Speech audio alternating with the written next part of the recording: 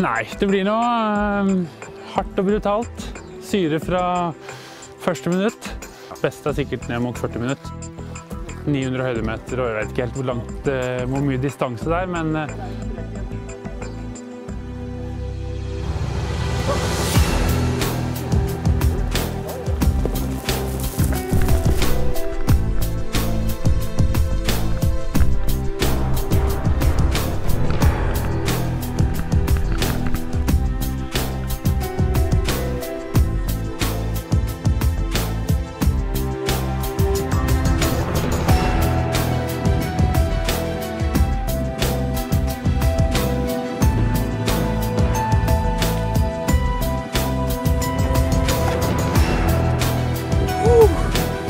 Oi, oi, oi.